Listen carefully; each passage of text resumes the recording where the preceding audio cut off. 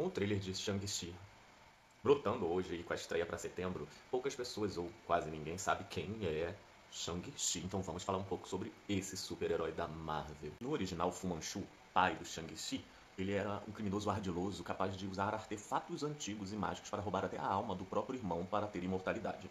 O filho dele, Shang-Chi, expert em artes marciais e totalmente o oposto do pai. Ele conhece um arquirrival do seu pai e descobre que seu pai não é lá essas coisas como ele achava. E assim se aliando ao arquirrival do seu pai e aceitando o arquirrival como seu mentor. Shang-Chi tem poder total sobre o seu Chi. Então isso faz com que ele tenha habilidades sobre-humanas, super velocidade, etc. Além do que ele tem toda uma habilidade de artes marciais, lutas, ele tem habilidade de pesca de super espião e esse controle total que ele tem do sistema nervoso dele também faz ele não sentir dor. É mais ele é mais resistente à dor, não que ele não sinta, mas ele consegue controlar e não afetar ele em batalha. Então ele é quase um sobre-humano, só que graças ao Chi.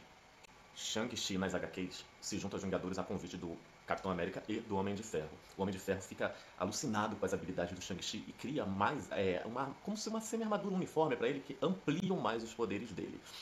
O Shang-Chi ajudou em várias batalhas nas HQs até que culminou na Guerras Secretas, que é a HQ de 2015. Não sabemos se ele vai ter participação em Guerras Secretas que a Marvel estará adaptando. Né? Shang-Chi está vindo para se encaixar na fase 4 da Marvel. E ele está seguindo o parâmetro de, do filme da Capitã Marvel e do Pantera Negra. Então, prepare-se.